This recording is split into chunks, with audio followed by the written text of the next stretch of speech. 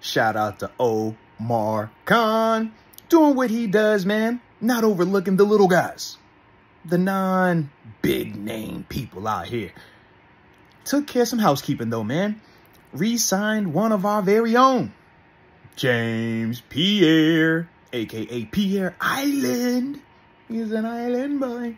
But no, man. Uh, James Pierre, man, re-signing on a one-year deal. Um, I definitely like the move, man. When we talk about Pierre, obviously he started for us um, for uh, what a couple of games uh, two seasons ago, and uh, obviously, man, he's been a depth player since then. Special teams, uh, special team guy as well. But when you just talk about having quality depth, having guys that can come in and fill a need if an injury happens or if guys are struggling. We saw him come off the bench versus the uh, Eagles last season and, you know, do his job, man. Ultimately, uh, help with that scenario with uh, the AJ Brown guy that was going off.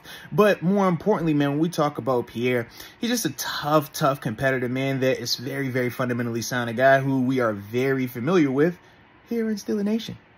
And one of those guys that, like I said, when you're talking about building a roster, you need guys like him. Everybody can't be Pat P. Everybody can't be Levi Wallace and Ahkello Witherspoon. Sometimes you need a James Pierre, a guy that can fill in multiple spots and give you that special teams action. So, with that being said, y'all let me know your thoughts on James Pierre re-signing, one-year deal.